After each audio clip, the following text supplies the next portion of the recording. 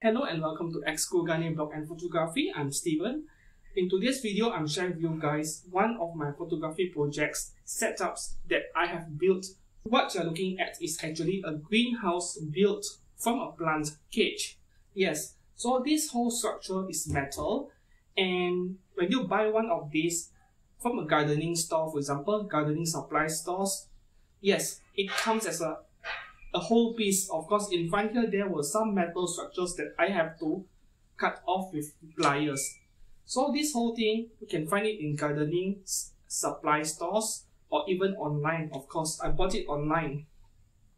And because of the shape of this cage, plant cage being the shape of a house itself, half a house, I don't really have to do any modifications other than maybe spray painting if I wish to change the color and removing all the metallic structures in, on one side so that I can photograph through it.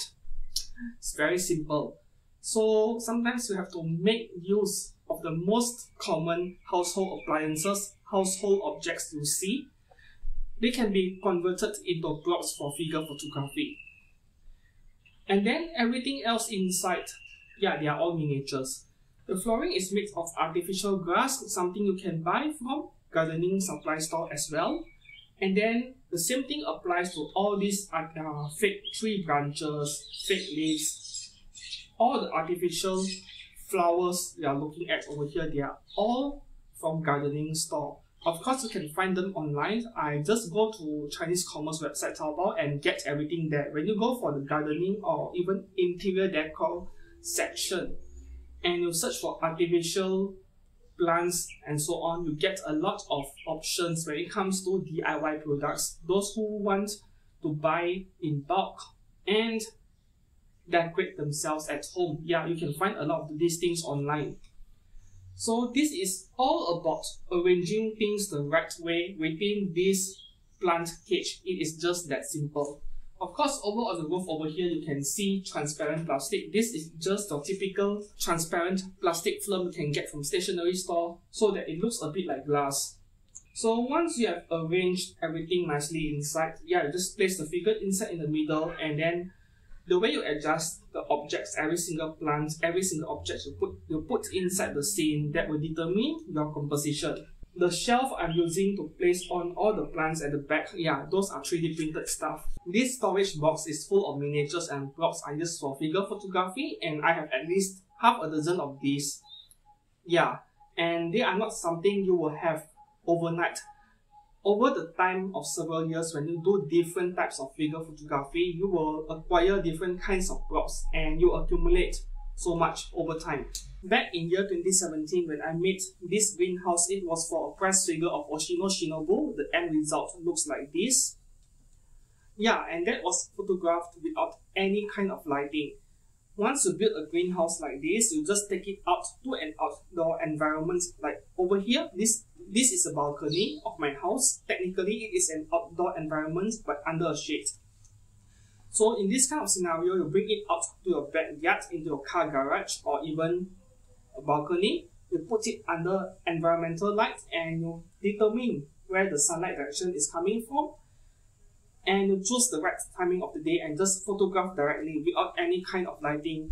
You can get very decent results, but of course, you will need to do the right kind of editing in Adobe Lightroom later. However, for today, I'm making use of this Sakura Miku version 2021 figure by Taito. This prize figure, I have already reviewed her.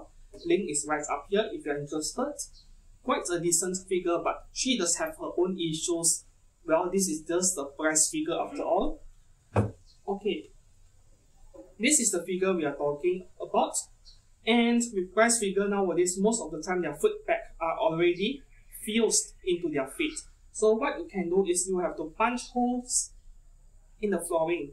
You just have to punch hole on the on the ground and you can plug the figure in. And sometimes the figure will still not be able to stand properly despite punching holes that are appropriate in size for the foot peg. So what you can do is you will need objects like this. This is glass, this is very heavy. Sometimes you place objects inside a diorama scene so that the figure can lean against it.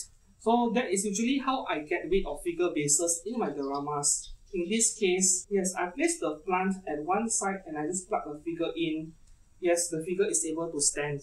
Some dwarf photographers, what they do is they make use of metal wires and they will edit it out later in Photoshop.